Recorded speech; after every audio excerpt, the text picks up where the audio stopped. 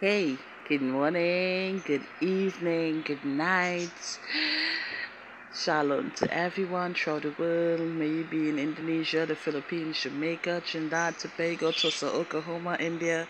Welcome, welcome, welcome. God is saying, He said to me, right about now, He's calling, calling you to go deeper with Him.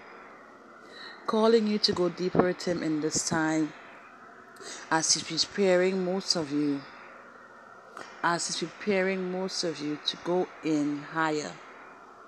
To go in higher. You are closer than you think, but you have to continue to use your tools, soldier. You have to use prayers. Prayers, praise, and worship. As He said in His word, James chapter 5, verse 16, the prayer of a righteous person is powerful and effective. Continue to go before the King.